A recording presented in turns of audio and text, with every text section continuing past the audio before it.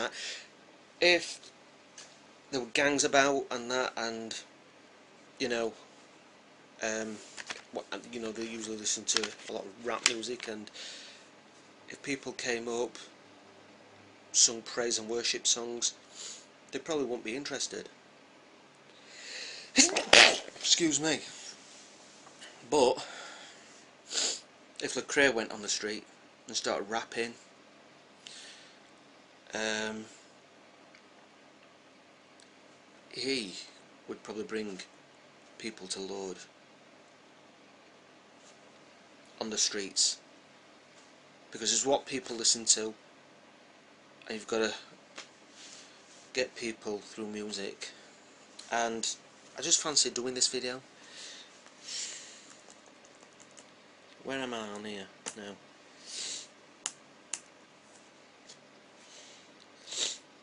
this guy Lecrae you know obviously is reaching people's souls. Um, someone in the hip hop world may not know much about Christianity. Um, they may not know Christian rap. Um,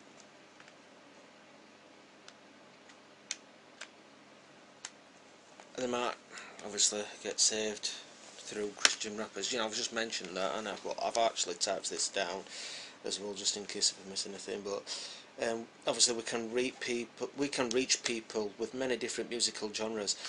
It does not have to be worship all the time. You know, worship music is great. Don't get me wrong, but who exactly listens to worship music? Who exactly buys worship music?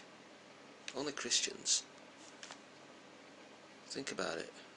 Think about it. And Christian worship artists, you know, they're really rich, well off. A lot of them. Because they get promoted in different ministries and that, but Christian rappers who are trying to make it and Christian rock rock stars, you know, there's Christian metal bands and all. I'm not saying everyone, every Christian metal rock band and Christian rapper, you know, are proper Christians and the rap I'll sing about um, Christianity much, but you've got to support these kind of acts like like Lecrae and that. And this is just petty stuff what this guy's put on. And judging Lecrae as though he said something really nasty like or something like for instance well I worship the devil? I'm not really Christian. And it's really ridiculous these sort of videos these people are reaching for God and someone has put him down. Someone might put me down on this video what I'm doing thinking, I'm looking down the Nero, yeah, let's expose him. I don't really give a crap, to be honest. It's, it really does my head in. No one's perfect, I know. You listen to something like The Lecrae and you'll think, wow, this is really awesome. Um,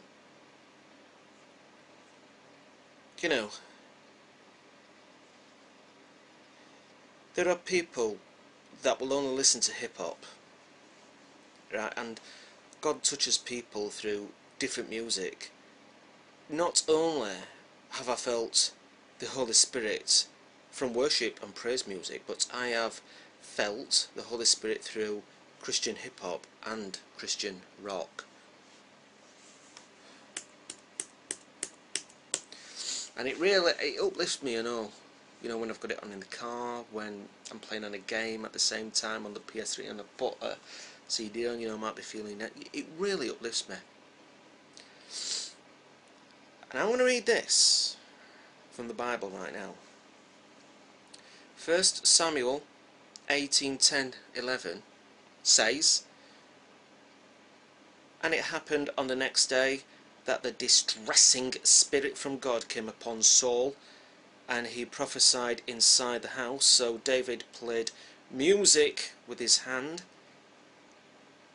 as at other times, but there was a spear in Saul's hand. And Saul cast the spear for he said, I will pin David to the wall. but David escaped his presence twice. I'm now going to read um, 1 Samuel 16:23. I'll read a few different versions actually.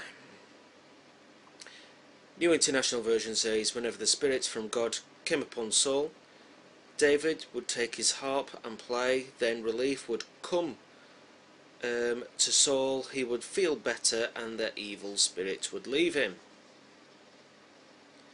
English Standard Version and whenever the harmful spirit from God was upon Saul, David took the lyre and played it with his hand, so Saul was refreshed and was well, and the harmful spirit departed from him.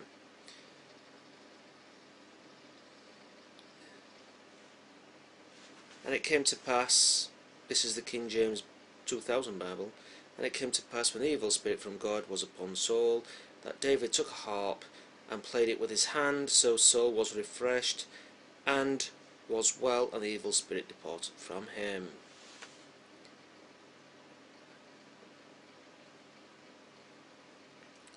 So, you know, this does not say that David was singing hymns as well as playing music. He played instrumental music and the spirit went away. You know, the distressing spirit went away. So what I am saying, what am I saying basically? You know, it doesn't necessarily have to be Christian, you know, Christian music, you know, we can feel the Holy Spirit, we can feel the anointing, but any kind of music, you know, as long as it's not demonic or satanic, you know, there's good music all over the world. Um, do you know what I mean? You know, um, classical, some classical music's quite alright. I'm not a big classical fan, but it's not too bad. But Christian music works wonders. Whatever the musical style. And this is my response, and if people are watching this thinking, I might check out Lecrae, you won't be disappointed if you like a bit of rap. Seriously, it's um, it, it is really top-notch stuff. This, so I'm just putting this video on as a response. Um, so, bye. See ya.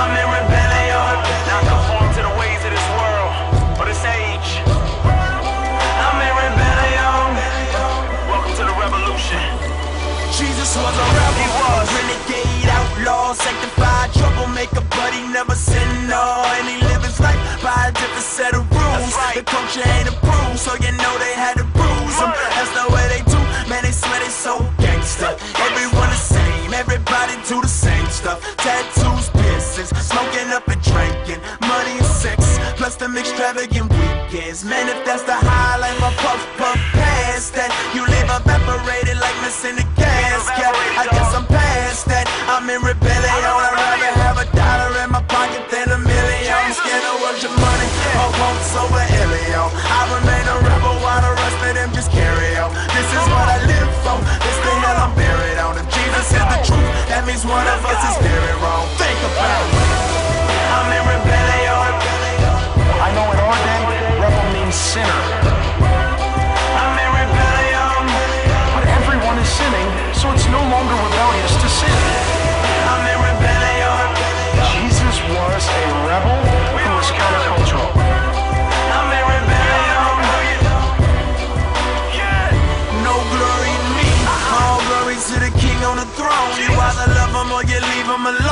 but you can't do both. Yeah, I know you heard that once in a song. I pray it's hear 10 low for you gone. Hey, listen, up, home. Stage is the corner, crowd is the streets. And I rap the bread of life because they dying to they eat. Hey, I'm a rebel, you know the kind that die in the street. Cause you refuse to conform, won't eat the king's meat. Yeah, Christ rebelled by shunning the culture. He eating with the sinners, giving Pharisees ulcers. He never got married, he was broke plus homeless.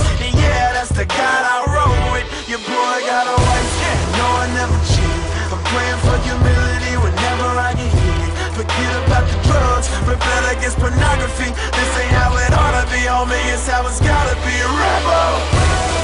I'm in rebellion. You're just a conformist. If you're drunk and naked, driving around on a loud motorcycle, smoking cigarettes.